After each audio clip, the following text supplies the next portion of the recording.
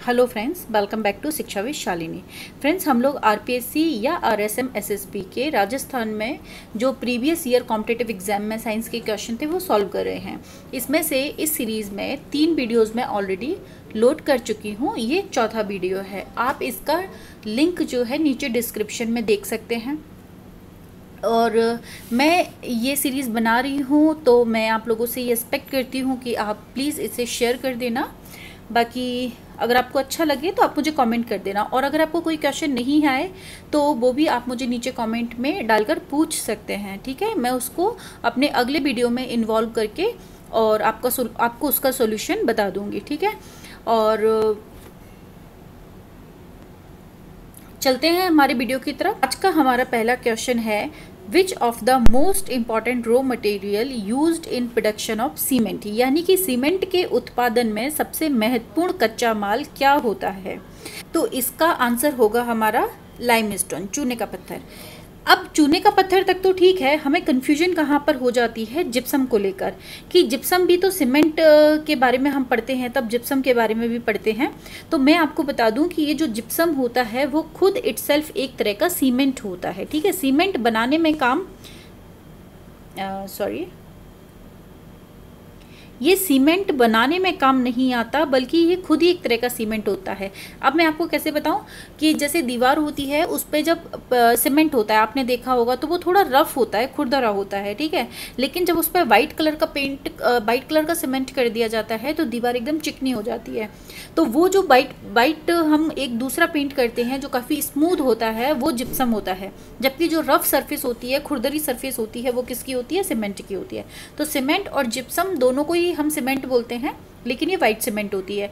और जब जिप्सम में से जो जल के अणु निकल जाते हैं जिप्सम में से जो जल के अणु निकल जाते हैं तो बन जाता है पीओपी ये भी एक तरह का वाइट सीमेंट होता है, जिससे विभिन्न प्रकार के खिलौने बनाए जाते हैं। या आपने कभी देखा होगा छतों पर डिज़ाइन बनाए जाते हैं सुंदर सुंदर वो सब पीओपी से बनाए जाते हैं, ठीक है? तो तीन तरह के सीमेंट हम देख सकते हैं। One is gypsum one is POP one is cement ठीक है? और सीमेंट जो बनता है, वो बनता है लाइमस्टोन से। तो इसका आंसर होगा हमारा चूने का पत्थर। अगला क्वेश्चन है हमारे पास। ऐसा unit of power is of the lens is यानी कि किसी लेंस की क्षमता का ऐसा मात्रक क्या होता है? तो सबसे पहले हम लेंस की क्षमता के बारे में देखते हैं। तो जो लेंस की क्षमता होती है, उसे पी से लिखा जाता है और ये लेंस की फोकल लेंथ यानी कि फोकस दूरी के वन अपॉन फोकस दूरी के बराबर होती है, ठीक है? तो यानी कि क्षमता बराबर वन अपॉन फोकस दूरी। अब मान लेते हैं, फोकस दूरी आपने ली है मीटर में। किसमें ली हुई है? मीटर में। और इसे मीटर में ही लेना कंपलसरी है। तो अगर हम फोकस दूरी को मीटर में लेते हैं तो लेंस की क्षमता जो आ जाती है, वो आ जाती है आपकी डायफ्टर में।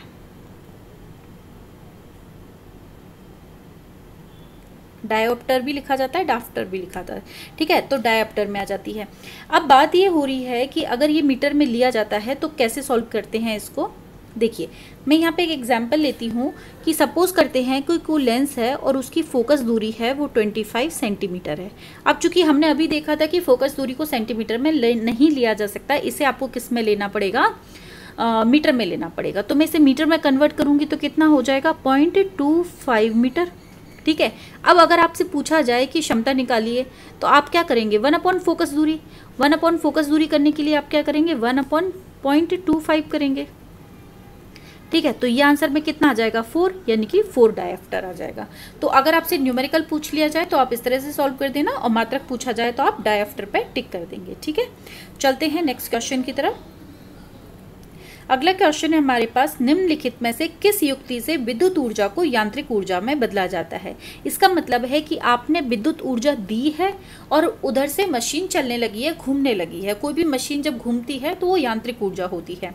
ऐसा कहाँ पर होता है? इसका एग्ज़ाम्पल देखते हैं कि विद्युत ऊर्जा को यांत्रिक ऊर्जा में जहाँ बदला जा रहा है, आपका एक सिंपल एग्ज़ाम्पल है फ़ैन यानी कि पंखा जो होता है आपका उसमें क्या होता है, आप विद्युत ऊर्जा को देते हो और उधर से यांत्रिक ऊर्जा, यानी कोई यंत्र चलने लग जाता है। इसका दूसरा एग्ज़ाम्पल है मिक्सर वो भी कैसे चलता है, आप उसके अंदर विद्युत ऊर्जा डालते हो और उसका ब्लेड जो होता है वो घूमने लग जाता है। ठीक है? तो ये फ़ैन है या जो आपका मिक्सर है, वो तो एग्ज़ाम्पल है, लेकिन उसे कहा क्या जाता है? उसे कहा जाता है विद्युत मोटर। अब मैं बाकी का आपको बता दूँ कि बैटरी के अंदर क्या होता है। तो यहाँ पर आप देख सकते हैं कि जो बैटरी होती है जो बैटरी होती है, बैटरी में आप रासायनिक ऊर्जा को बदल देते हो विद्युत ऊर्जा में। मैं शॉर्ट में लिख रही हूँ, विद्युत ऊर्जा में, ठीक है? इसके अलावा मैं आपको बता दूँ कि विद्युत जनित्र में क्या करते हो आप? विद्युत जनित्र में यांत्रिक ऊर्जा को बदल देते हो विद्युत ऊर्जा में, ठीक है? जिसे जनरेटर कहते हैं। तो जनरेटर से क्या बनती है? विद्युत बनती है। मोटर में हमने क्या देखा कि विद्युत ऊर्जा जो होती है, वो बदल जाती है यांत्रिक ऊर्जा में।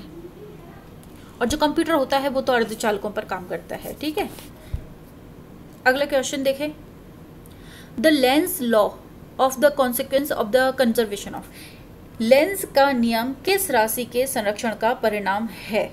तो सबसे पहले तो हमें ये पता होना चाहिए कि लेंस का नियम क्या कहता है। बहुत सिंपल सी बात है कि सपोज़ करते हैं, आपके पास एक कॉयल है। कॉयल मतलब कोई तार है और जिसको आपने इस तरीके से घुमा के एक सर्किट बनाया हुआ है। यहाँ पे आपने एक अमीटर लगा दिया। ठीक है, जिससे आप क्या नाप रहे हो कि देख रहे हो कि इसमें विद्युत धारा है कि नहीं है। आपने बैटरी वैटरी कुछ भी नहीं लगाई। अब बैटरी नहीं लगाई तो क्या करंट आएगा इसमें? नहीं आना चाहिए।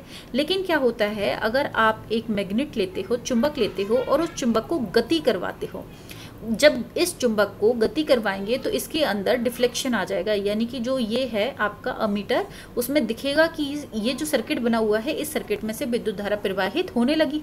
यानी कि सिंपल सी बात है, अगर कोई एक सर्किट है, इस तरह का एक सर्किट है और उसके आसपास आप चुंबक को गति करवा रहे हो, पहले इधर, फिर इधर तो उसके वजह से क्या होगा, इसके फ्लक्स में परिवर्तन होगा। फ्लक्स में परिवर्तन होगा और इसके अंदर विद्युत धारा उत्पन्न हो जाएगी। तो ये जो कहता है, वो ऊर्जा संरक्षण के नियम पर कार्य करता है, ठीक है? इसको आपको डायरेक्ट याद रखना है। अच्छा इसके बाद आपका क्वेश्चन है secondary cell are those which secondary cell किनको कहते हैं?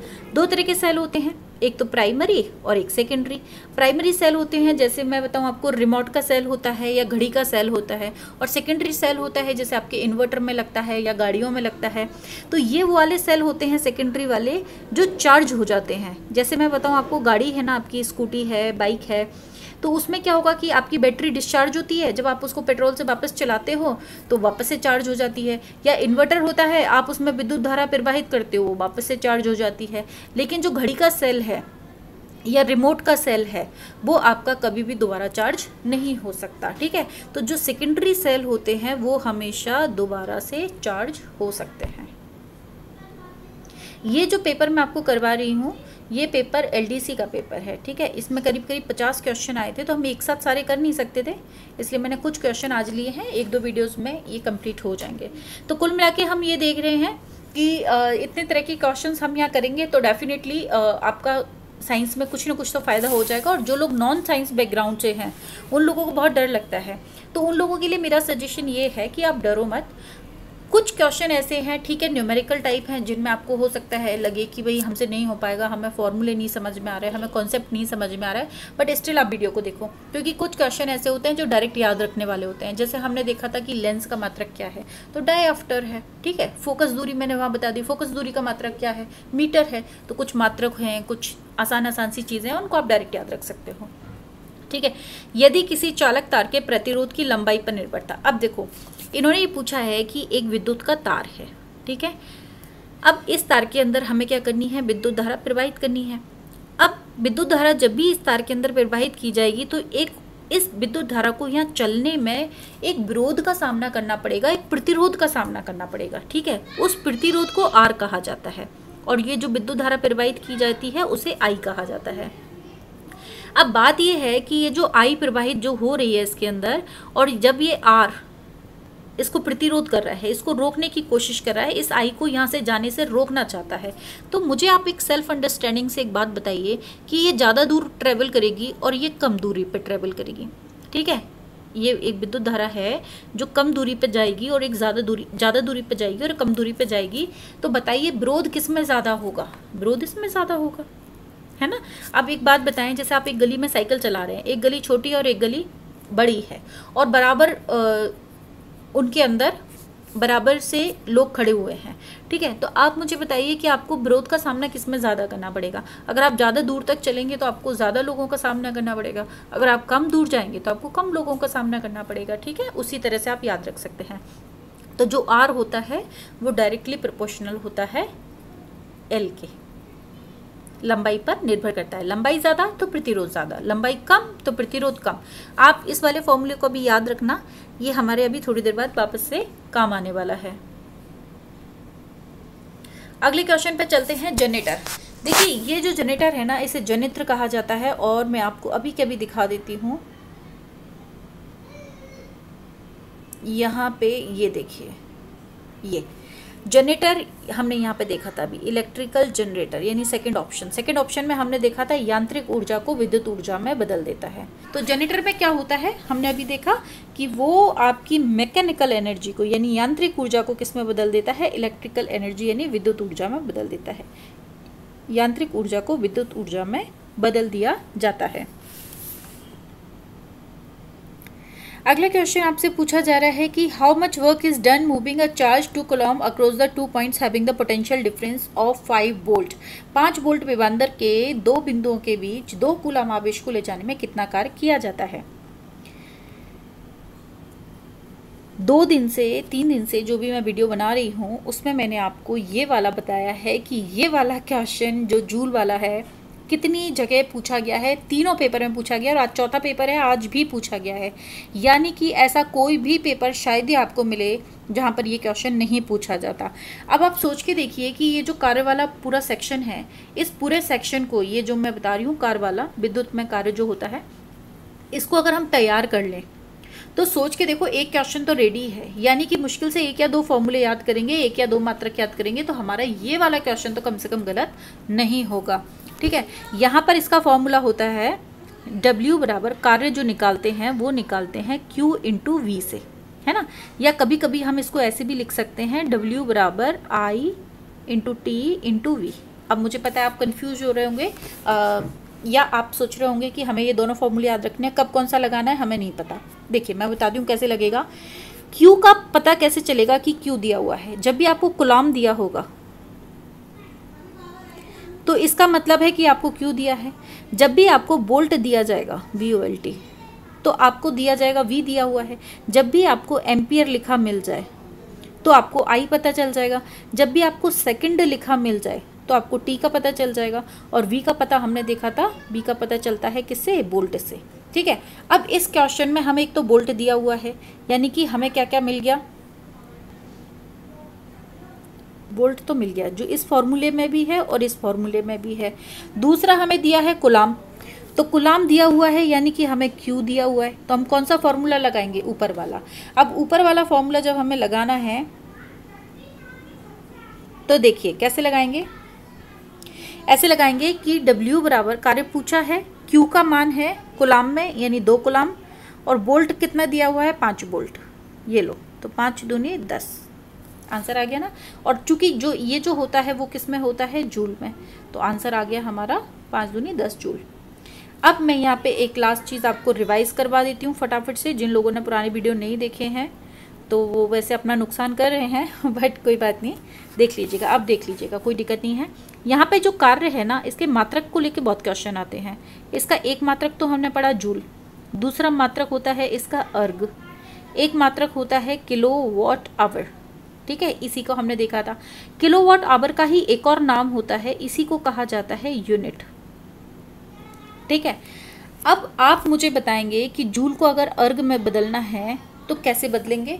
और अगर मुझे जूल को किलो वॉट आवर में बदलना है तो कैसे बदलेंगे? ठीक है? ये क्वेश्चन पूछा गया है, ये वाला क्वेश्चन जूल को किलो वॉट आवर में कैसे बदला जाता है, ये क्वेश्चन पूछा जाता है, ठीक है?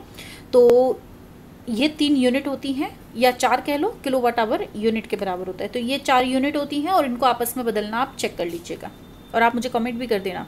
मैं देखूँ तो सही कि आप कितना पढ़ते हैं कि सारी मेहनत मुझे ही करनी होगी। हाँ जी, अगला क्वेश्चन तो बहुत आसान है और थोड़ा मज़ेदार सा भी है। ये लीजिए। अगर आप एक समतल दर्पण के सामने खड़े हैं, ठीक है, और आपने दाएँ बाएँ बाएँ कान को दाएँ हाथ से छुआ है तो क्या होगा?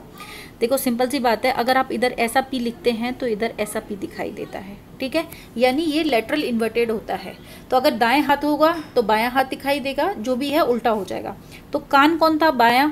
तो अभी कान कौन सा हो जाएगा? दायां कान। तो ये वाला सही होगा और ये वाला सही होगा, ठीक है? इसके अलावा दायां हाथ है तो बायां हाथ होगा। या तो ये वाला सही होगा, या ये वाला सही होगा। बाकी का फिर ये आंसर हो गया हमारा, ठीक है? ये तो बहुत ही आसान सा क्वेश्चन है। आगे चलिए। इंद्रधनुष पानी की छोटी छोटी बूंदों के द्वारा सूर्य की रोशनी के किससे बनता है। यहाँ पे चार घटनाएँ दी हुई हैं। वर्ण विक्षेपण, परावर्तन ध्रुवण और व्यतीकरण। आप इतना समझ लो कि वर्ण विक्षेपण का मतलब क्या है। जैसे मान लो एक सफ़ेद लाइट आ रही है, सफ़ेद लाइट और वो किसी चीज़ से टकराई। टकराने के बाद वो या किसी चीज़ में से गुजरी, वो अपने सात रंगों में टूट जाती है। तो इसको तो कहते हैं वर्ण विक्षेपण। सात रंगों में टूट जाना, है ना? तो अब यहाँ पे तो नाम से ही पता चल रहा है भाई, इंद्रधनुष है। इंद्रधनुष का मतलब क्या हुआ कि सात रंगों में टूट गया है? तो हमें कहीं ना कहीं अगर ये शब्द का मतलब पता है तो हम कर सकते हैं। दूसरा है परावर्तन। परावर्तन क्या होता है? जब लाइट आती है, किसी सतह से टकराती है तो वापस लौट जाती है। उसे कहा जाता है परावर्तन। ध्रुवण किसे कहा जाता है कि, मैं एक मिनट ये हटा दूँ हाँ जी। दुर्बण किसे कहा जाता है कि जब लाइट एक माध्यम से ऐसे पास होती है तो उसका कुछ हिस्सा यहीं एब्जॉर्ब हो जाता है, रुक जाता है और लाइट का कुछ हिस्सा बाहर निकलता है।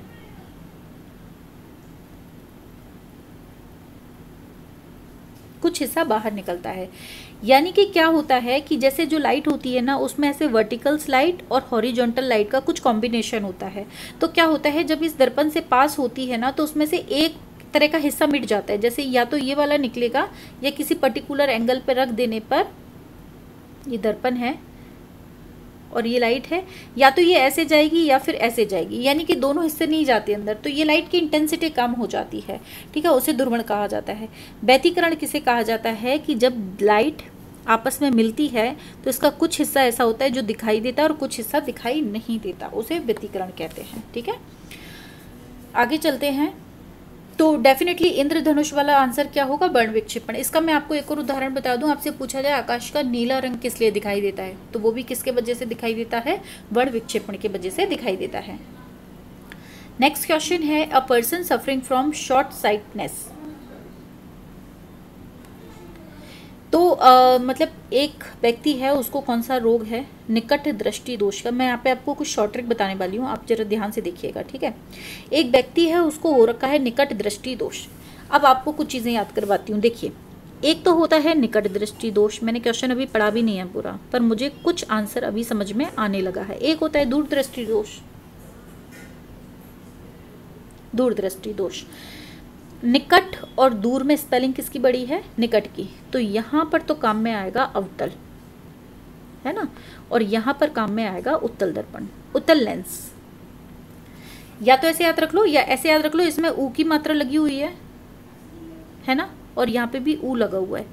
तो मुझे तो ऐसे याद रह जाता है कि दूर वाले जो होते हैं वहाँ पर उत्तल लेंस, दूर दृष्टि दोष में उत्तल लेंस का प्रयोग किया जाता है और निकट दृष्टि दोष में अवतल का।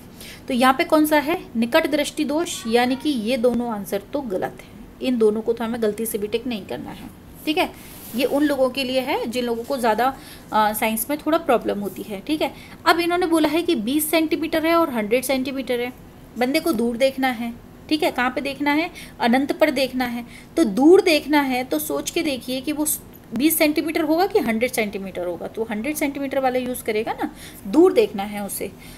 अब या तो अगर फॉर्मूले से करना चाहते हो तो ये ऐसे होगा, one upon F is equal to, जिनको साइंस में समझ है, वो वन अपॉन ये इस्तेमाल करेंगे formula. One upon B minus one upon U. Focus दूरी कितनी है? दूर देखना है ना? तो हंड्रेड वाली यूज़ करेंगे। ये वी जाएगा माइनस वन अपॉन इनफाइनाइट। ये ज़ीरो हो जाएगा, इसको सॉल्व करोगे तो आप हंड्रेड आ जाएगा, ठीक है? आप ऐसे सॉल्व इसको कर सकते हैं। अगला क्वेश्चन है, घरों में अर्थिंग का क्या उद्देश्य है? ठीक है? तो ये वाला क्वेश्चन वैसे आरपीएससी ने इसे काट दिया था डिलीट कर दिया था। अर्थिंग इसलिए कहा जा, की जाती है जो घरेलू उपकरण होते हैं, उसमें जब extra earth extra current produce हो जाती है तो वो अर्थिंग के माध्यम से ज़मीन में चली जाती है और हमें करंट वगैरह नहीं लग पाता है। कभी आप देखते होंगे जब अर्थिंग घर में कम रह, कम होती है या अर्थिंग नहीं लगाई जाती तो कभी कभी डिवाइसेस में डिवाइसेस मतलब फ्रिज हो सकता है या आपका कूलर हो सकता है, उसमें करंट आने लग जाता है। तो वो जो एक्स्ट्रा करंट होता है, उसको ज़मीन में चला जाए, उसके लिए क्या किया जाता है? अर्थिंग का प्रयोग किया जाता है। अब देखिए, यहाँ पे अगला क्वेश्चन है कि एक अवतल लेंस है और फोकस दूरी दे रखी है और आभासी प्रतिबिंब की लेंस से दूरी कितनी होगी? तो मैंने अभी आपको एक फॉर्मूला बताया था, देखो यहाँ काम आ जाएगा one upon F is equal to one upon V minus one upon U एक लेंस का फॉर्मूला होता है, आप इसको रट लीजिए। अब आपको सिंपल सिंपल दे रखा है फोकस दूरी। फोकस दूरी एप से दिखी जाती है तो ये हो गया एक बटे पंद्रह, है ना? ज़्यादा डरना मत इन क्वेश्चन को देख के अब अवतल लेंस के सम्मुख बिंब को अनंत पर रखा जाता है।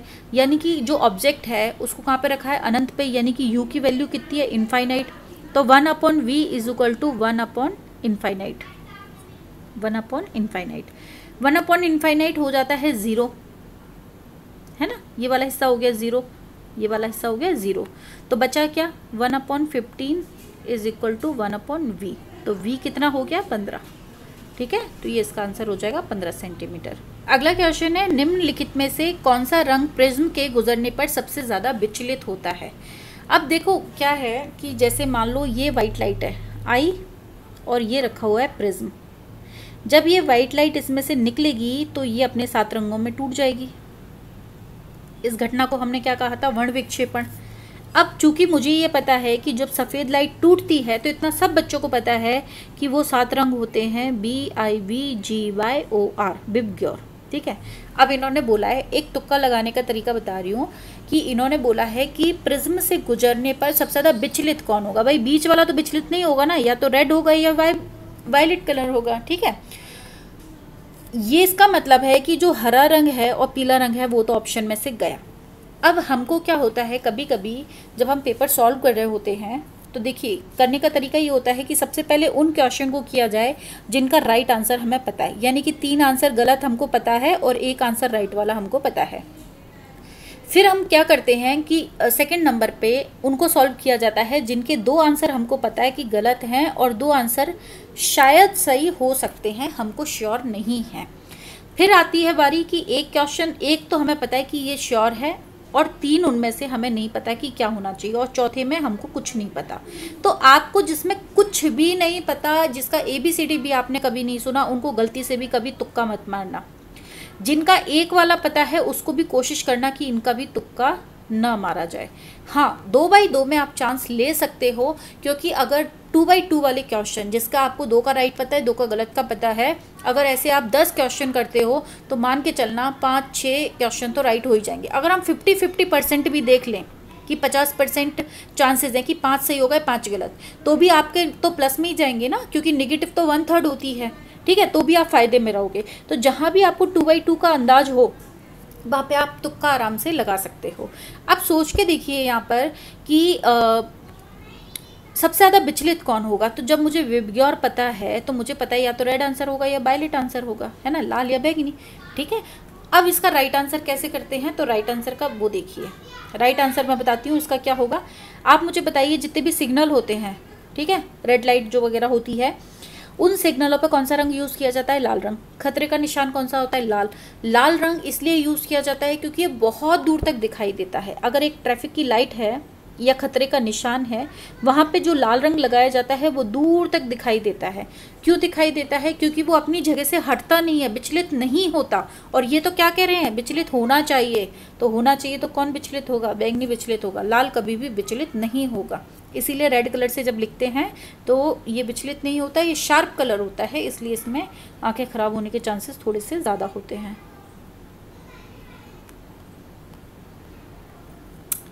ठीक है तो चलते हैं नेक्स्ट क्वेश्चन की तरफ़। ओके नेक्स्ट क्वेश्चन है हमारा कि ज़्यादा नहीं है, एक दो और हैं, देखिए। There are three copper wires तीन हमारे पास तार हैं और तारों की लंबाई दे रखी है। एक की लंबाई एल है, एक की टू एल है और एक की एल पाई टू है। और हमको उनके अनुप्रस्थ काट का क्षेत्रफल दे रखा है, यानी मोटाई दे रखी है ए ए बाई टू और टू ए तो ये कह रहे हैं, प्रतिरोध कम से कम कहाँ पर होगा? मतलब न्यूनतम प्रतिरोध कहाँ पर होगा? तो देखिए, इसका फॉर्मूला होता है प्रतिरोध बराबर एल बटे ए ठीक है? ये आर बराबर L R directly proportional L ये क्वेश्चन ऊपर पूछा गया था ना आपसे? वही है। ठीक है? तो R is equal to L बटे ए अब हम पहले वाले के लिए सॉल्व करते हैं इसके लिए। तो इसके लिए आर वन कितना आएगा हमारा? एल बटे ए दूसरे वाले के लिए सॉल्व करो ज़रा। तो ये आ जाएगा टू एल बटे ए बाई टू इसे दोबारा सॉल्व करेंगे तो आ जाएगा four L divide by A ठीक है? तीसरा वाला ज़रा सॉल्व करो आर थ्री तो ये आ जाएगा L upon two divided by two A ठीक है? तो ये हमारा टोटल हो जाएगा one upon four L upon A ठीक है? अब देखिए। ये एल अपॉन ए है। ये एल अपॉन ए है, लेकिन ये चार से गुणा हो रहा है। और ये एल अपॉन ए है, लेकिन ये एक बटे चार से गुणा हो रहा है। तो सबसे कम कौन सा है? सबसे कम पूछा है ना आपसे? तो कम कौन सा है? ये चार गुना है, ये एक गुना है, और ये एक बटे चार गुना है। तो हमारा राइट आंसर होगा एक बटे चार। तो यानी कि एक बटे चार, एक बटे चार यानी तीसरा वाला। तीसरे वाले में ये क्या दिया हुआ है? टू ए तो हमारा आंसर होगा टू ए आपको अगर नहीं समझ में आया तो आप एक बार बैक करके दोबारा देखिए और नहीं तो मुझे कमेंट में मैसेज कर दें। अगला क्वेश्चन है और लास्ट क्वेश्चन है आज के लिए। Histone protein involve DNA packaging have charge मैं आपको एक बात बता देती हूँ, ये मैं लास्ट में बता रही हूँ क्योंकि लास्ट तक जनरली बच्चे वीडियो देखते ही नहीं है। इतना पेशेंस होता नहीं है, पर अगर आप देख रहे हैं ये वीडियो लास्ट तक तो मुझे कमेंट करके बताना कि आपने ये वीडियो लास्ट तक देखी। इसका मतलब है कि आपके अंदर डेडिकेशन है और सबसे बड़ी बात कि आपके अंदर पेशेंस है। आप पूरा तसल्ली से बात को सुनते हैं और मान के चलिए आपका सिलेक्शन श्योर है। मैं खुद इसलिए आपको कह रही हूँ क्योंकि आ, मैंने भी बहुत सारे कॉम्पिटेटिव एग्ज़ाम दिए हैं और सिलेक्शन भी लिया है और मैं राइट नाउ जॉब में भी हूँ। और मेरे पास इतना सारा टाइम नहीं होता है कि मैं वीडियोस बना सकूँ लेकिन फिर भी मुझे लगता है कि मुझे और लोगों की मदद करनी चाहिए। ठीक है? तो आ, ये सिर्फ़ मेरा एक शौक़ है जिसके लिए मैं वीडियोस बना रही हूँ तो मैं आ, बस इतना आप लोगों से एक्सपेक्ट करती हूँ कि आप शेयर कर देना पहुँचा देना दूसरे लोगों को। आप लाइक करो मत करो सब्सक्राइब करो मत करो मुझे कोई फ़र्क नहीं पड़ता। मैं जॉब में हूँ मेरे लिए ये अर्निंग का मैटर नहीं है। वीडियो बनाना मेरे लिए अर्निंग का सोर्स नहीं है। ये मेरा एक शौक़ है एक मेरा पैशन है। तो अगर आप इसे शेयर कर देंगे दूसरे लोगों में तो मुझे खुशी होगी ठीक है? शेयर के लिए मैं इसलिए बोलती हूँ कि ज़्यादा लोगों तक पहुँचेगा तो मेरा जो मेहनत है, काम है, वो सफल हो जाएगा, ठीक है? तो डीएनए की पैकेजिंग में शामिल हिस्टोन प्रोटीन का आवेश कैसा होता है? तो हिस्टोन प्रोटीन जो होता है, वो धनात्मक होता है। हिस्टोन क्या होता है, आप चित्र में देख सकते हैं, फ़ोटो में। यहाँ पे कुछ बॉलनुमा संरचना होती है, जिसके ऊपर डीएनए चिपका रहता है। देखिए, क्या होता है? वापस आइए। जिस तरह से कुछ बॉलनुमा संरचना होती हैं स्टोन की और ये क्या करती हैं अपने चारों तरफ़ डीएनए को लपेट के रखती हैं। क्योंकि आपने देखा होगा डीएनए का स्ट्रक्चर कुछ ऐसा होता है। ठीक है? ये काफ़ी लंबे लंबे होते हैं। और इतने लंबे लंबे धागे नुमा संरचना अगर आ, कोशिका के अंदर रहेगी तो वो परेशान करेगी। ठीक है? तो इसलिए क्या होता है ये स्टोन इन डीएनए को अपने चारों तरफ़ लपेट लेते हैं। ठीक है? अपने चारों तरफ़ लपेट लेते हैं। और ये हिस्टोन जो होते हैं ना, वो धनात्मक होते हैं और ये जो डीएनए होता है ना, उसमें एक ऋणात्मक होता है। तो ये ऋण और धनात्मक भाग चिपक जाता है आपस में। तो ये जो हिस्टोन होते हैं, वो धनात्मक होते हैं। और सबसे बड़ी बात आप याद रखना, जो हिस्टोन जो होते हैं, वो किसके बने होते हैं? प्रोटीन के बने होते हैं। अगली बार जब घुमा के क्वेश्चन पूछा जाएगा तो वो ये पूछेंगे आपको कि स्टोन किसके बने होते हैं? प्रोटीन के। ये कहाँ काम आते हैं? डीएनए की पैकेजिंग में। तो ये मिलते कहाँ पर हैं? नाभिक के अंदर। कोशिका की नाभिक के अंदर। ठीक है? तो ये थे हमारे आज के क्वेश्चन अगर आपका कोई डाउट है तो पूछ लेना. अदरवाइज़ पढ़ते रहिए, खुश रहिए. Thank you so much thanks for watching